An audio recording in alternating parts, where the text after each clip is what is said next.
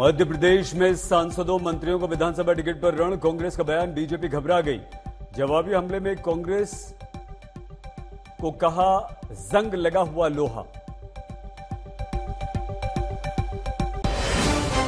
बिहार में नीतीश को लेकर बयानों का दौर, बोले मंत्री पशुपति पारस, साथ आएँगे तो स्वागत। सीएम का पहले ही अटकलों से इनकार।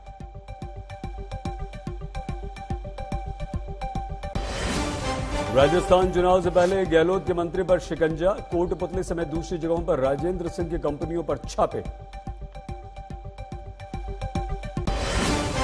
दिल्ली के जंगपुरा में ज्वेलरी शोरूम में चोरी से कापी राजधानी 25 करोड़ के सोने चांदी हीरे की चोरी, दीवार में सेंध लगाकर घुसा गैंग।